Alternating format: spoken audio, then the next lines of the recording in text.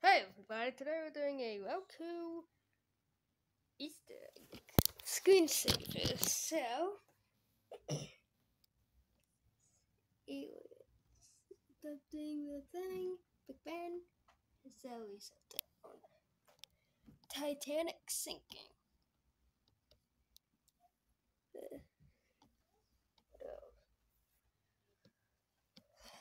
These could be Ninja Turtles.